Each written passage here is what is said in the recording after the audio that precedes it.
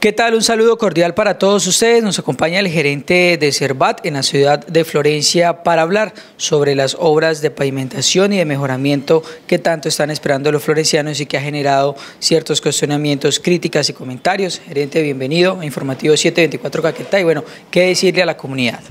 Sí, bueno, muchos, muchas gracias por eh, este espacio un saludo especial a todos los eh, usuarios del servicio de acueducto de alcantarillado de la ciudad de Florencia. Manifestarles que también le doy muchas gracias por los comentarios que han hecho en las redes sociales. Esto me dan unas oportunidades de mejora para tomar acciones direccionadas al mejoramiento de la malla vial de la ciudad.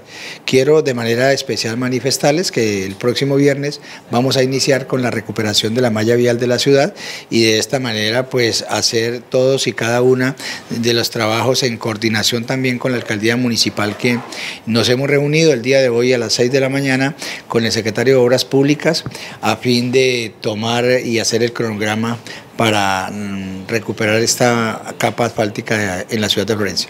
¿Entre qué sectores se han priorizado para iniciar? Inicialmente vamos a priorizar el sector de Glorieta Los Colonos hacia el puente La Perdiz. Luego vamos a eh, intervenir lo de la carrera 13, lo de la carrera 14. Vamos a intervenir lo de mm, arriba en La Libertad, en el Torazo en fin, en todos los sitios donde hemos hecho reposición de acueducto y reposición de alcantarillado, de las redes de acueducto y de las redes de alcantarillado, vamos a hacer las intervenciones. Bueno, ayer se presentó un caso donde las personas no respetaron la señal, se metieron por la vía. ¿Qué está pasando ayer? Bueno, eso sí ya es una cuestión de cultura ciudadana. Nosotros teníamos eh, unas eh, cintas ahí para que no, pues cerrando la vía, porque esa vía se acabó de, de hacer la reposición del alcantarillado de 24 pulgadas.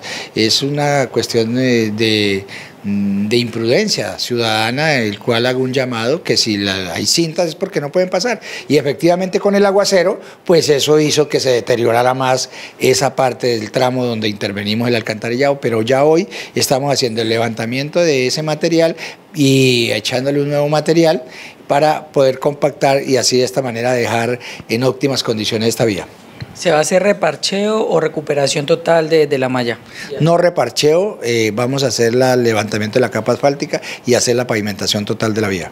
Bueno, José David eh, Garzón, muchísimas gracias, gerente de Cervat, que pues anuncia que para el próximo viernes iniciarían las obras de reparación y ya pavimentación de la malla vial en la capital del departamento del Caquetá, en los sectores donde ellos han hecho el cambio de la tubería. No Montenegro para Informativo 724.